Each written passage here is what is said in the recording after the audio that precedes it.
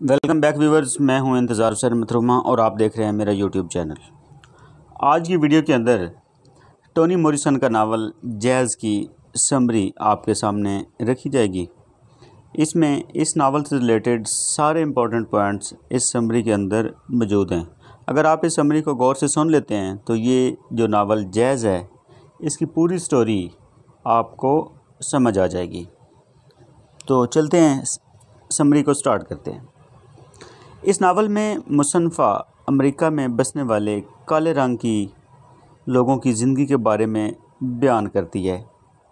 ख़ास तौर पर ख़वातीन पर ढाए जाने वाले मजालिम और सकाफ़ती शिकस्त और रीत का ज़िक्र करती है।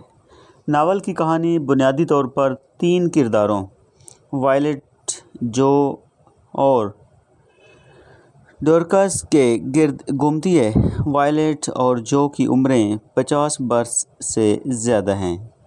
और वो एक गैर मुतमिन अजदवाजी ज़िंदगी गुजार रहे हैं। दरअसल, उनकी कोई औलाद नहीं है। और वायलेट चूँकि एक खुश्क मिजाज खातून है, इसलिए इसके तल्लक़ात अपने खावन जो से खुशगवार नहीं हैं। यहाँ पे एक बात ये भी बड़ी काबिल ज़िक्र है कि अमेरिका में जो लोग बस रहे हैं, उनका अगर कलर ब्लैक है, अगर वो सामले कलर के हैं, ब्राउन जनरेशन हैं या ब्लैक जनरेशन से तल्लक़ रखते हैं तो उनके साथ वहाँ पे अच्छा सलूक नहीं किया जाता, उनके साथ जुल्म ज़्यादती होना कोई नई बात नहीं है। इसी जुल्म ज़्यादती को मुसनफ़ा ने अपने नावल में बयान किया है। दूसरी एक बड़ी इम्पोर्टेंट बात उसने यहाँ तक ये की है कि वायलेट जो है वो एक खुश्क मिजाज खातून है। यानी अगर कोई बंदा, कोई शख्स, कोई औरत खुश मिजाज है तो उसका तल्लक फैमिली में, रिश्तेदारों में या दोस्तों में अच्छा नहीं होता उसके अपने मिजाज की वजह से। तो अपने मिजाज को, अगर आपका मिजाज खुश्क है तो उसको ज़रा बेहतर करने की कोशिश करें। खुशगवारी इन हालात में किसी भी मर्द का चुनाचे जो एक नौजवान खातून जो उम्र में इससे खासी छोटी है कि मोहब्बत में गिरफ़्तार हो जाता है। यानी अगर मियाँ बीवी के तल्लक आपस में अच्छे नहीं हैं तो मर्द का किसी दूसरी औरत की तरफ़ अट्रैक्ट हो जाना भी एक, एक कॉमन सी बात है और इसके वाइस वर्सा भी सेम सीन है।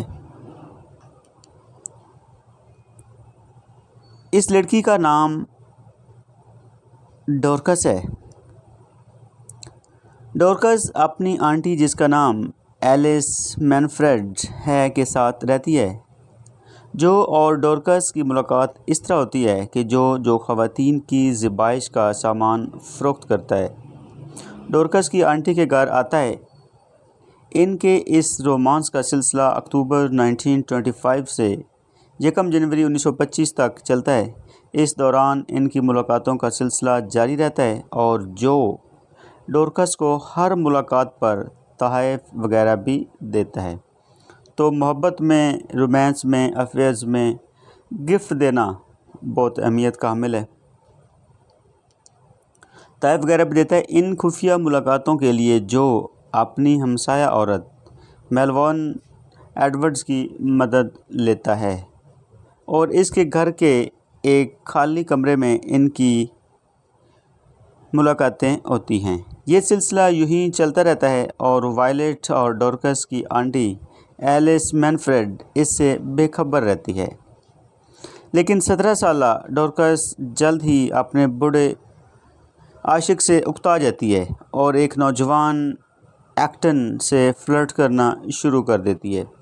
वो इसके साथ नाइट क्लबों में जाती है और वहाँ डांस करती है। जो को जब इस हकीकत का पता चलता है तो वो उसे समझाने बुझाने की कोशिश करता है, लेकिन डोरकस उसे बुरे तरीके से मना कर देती है। इन हालात से दिल बर्दाश्त होकर एक दिन जो इस नाइट क्लब में जाता है, जहाँ डोरकस अपने नौजवान महबूब एक्टन के साथ डांस कर रही होती है, वो डोरकस पर गोली चलाता है, जो उसके कंधे पर लगती है। डोरकस लोगों को एंबुलेंस बुलाने से मना करता है। मना कर देती है और यूँ बहुत ज़्यादा खून बह जाने के सबब वो मर जाती है। यूँ हर एक को पता चल जाता है कि जो और डोरकस का फेयर चल रहा था। चुनाचे, जिस दिन डोरकस को दफन किया जाना था, जो कि बीवी वायलेट वहाँ आती है और डोरकस के चेहरे पर खंजर से हमला कर देती है। और इसकी लाश का चेहरा बिगाड़ देती है। यानी उसकी बीवी जो है, वो वहाँ पे आके उसकी जो लाश है, उसका चेहरा भी, ये डेड बॉडी को भी ख़राब करती है। कुछ अर्से बाद वो डोरकस की आंटी, जिसका नाम एलिस मैनफ्रेड है, की तरफ़ जाती है और यूँ दोनों औरतों की दोस्ती हो जाती है। क्योंकि दोनों ही दुखी होती हैं और एक ही अलमिया से दो चार होती हैं, तहम कुछ अरसे बाद वायलेट और जो किसी हद तक अपने तल्लक बेहतर बनाने में कामयाब हो जाते हैं। और इसमें बड़ा किरदार डॉर्कस की दोस्त फैलिस अदा करती है। जो वायलेट और डॉर्कस की कहानी बयान करते हुए मुसनफ़ा इन किरदारों के माजी को भी खंगाल के हमारे सामने पेश करती है, जिसको हम फ्लैशबैक टेक्निक भी कह सकते हैं, ताकि हम इन किरदारों से अच्छी तरह वाकिफ़ हो सकें। मसल मसलन या मिसाल के तौर पर जब हम वायलेट के किरदार को देखते हैं तो वो हमें एक घसीली और मार कुटाई करने वाली औरत के तौर पर सामने आती है। लेकिन इसकी वजह वो माहौल है जिसमें वो पली बड़ी थी। तो डेफ़िनेटली माहौल जो है, वो भी किसी भी शख्स के ऊपर एक गहरा असर छोड़ता है। तो यहाँ पे भी वही सीन है। वायलेट का तल्लक एक इंतहाई गरीब घराने से था। इसका बाप इन्हें छोड़कर चला गया। कुछ अरसे बाद इसकी माँ रोज़ डेयर ने कुएँ में छलांग लगाकर खुदकुशी कर ली। यानी उसने अपनी जान छुड़ा ली। चुनाचे वायलेट की देखभाल इसकी नानी, जिसका नाम जिसका नाम ट्यू बैली था इसने की। जो का ताल्लुक भी अमेरिका के इसी इलाके, वर्जीनिया से था, जहाँ वायलेट पली बड़ी थी। जो को भी तकरीबन इसी किस्म के हालात से दो चार होना पड़ा, वो बचपन में ही यतीम हो गया। और एक शिकारी, हैनरी लेस्ट्राय ने इसे मतनई बना लिया। जो को अपनी जन्म देने वाली माँ के बारे में भी कुछ नहीं पता था। अगरचे, हैनरी लेस्ट्राय के बकौल एक खाना बदोश खातून वाइल्ड इसकी माँ है। लेकिन इस बात की तस्दीक नहीं हो सकती।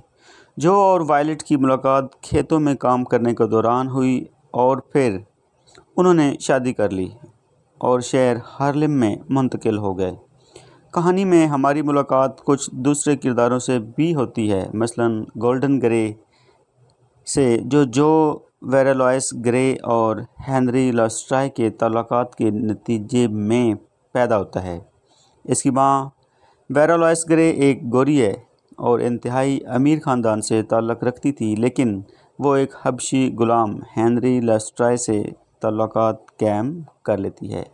जब इसके गोरे वालदेन को पता चलता है कि वो एक हबशी ग़ुलाम के बच्चे की माँ बनने वाली है तो वो इसे एक बड़ी रकम से घर से निकाल देते हैं। चनाचे गोल्डन ग्रे की परवरिश इसकी माँ वेरालॉयस ग्रे और इसकी मुलाजमा ट्रू बैली करते हैं। ट्यूबेल वायलेट की नानी भी है। जब गोल्डन ग्रे को अपने बाप की हकीकत के बारे में पता चलता है तो वह अपने काले बाप को मारने के इरादे से निकल खड़ा होता है। रास्ते में इसकी मुलाकात इस खतून वाइल्ड से हो जाती है, जिसे जो की वालदा बताया जाता है। वाइल्ड इस वक्त हमला होती है, चुनाचे वो उसे अपने बाप हेनरी लेस्ट्राय के घर ले जाता है, जहाँ वो जो को जन्म देती है। इसके बाद वाइल्ड और गोल्डन ग्रे जंगल में घर बनाकर वहाँ रहना शुरू कर देते हैं और शहर की ज़िंदगी से मुकम्मल तौर पर लातल्लक हो जाते हैं। टोनी मॉरिसन का ये नावल अफसानवी रंग के साथ साथ तल्ख हकीकतों से भी भरपूर है और दो मुख्तलिफ़ सकाफ़तों के अदगाम से पैदा होने वाले मसाइल को बड़ी खूबसूरती से बयान किया गया है। तो अगर आपने ये पूरी समरी गौर से सुनी है तो इसका मतलब है कि आपको पूरी स्टोरी समझ आ गई होगी। अगर आप मेरे चैनल पर न्यू आए हैं और आपने अभी तक सब्सक्राइब नहीं किया हुआ तो आप चैनल को सब्सक्राइब कर लें ताकि आपको न्यू आने वाली वीडियोज़ भी मिलती रहें। तो मिलते हैं अगली वीडियो में। अल्लाह हाफ़